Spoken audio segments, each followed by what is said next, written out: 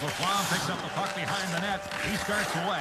He spins away from one check. Now gets up to center ice. Takes a look, feeds the pass over. Now LaFlamme moves into position. Back, back, back, back, back.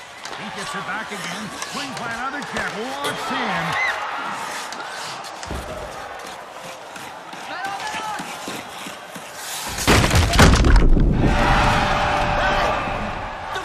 Hands away. Was looking the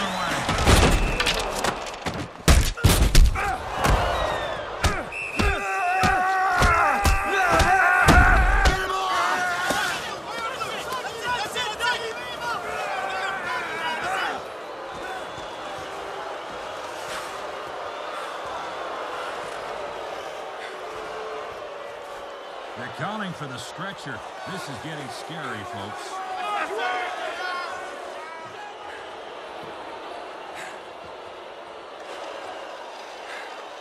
Jesus Christ. Easy, boys. Xavier.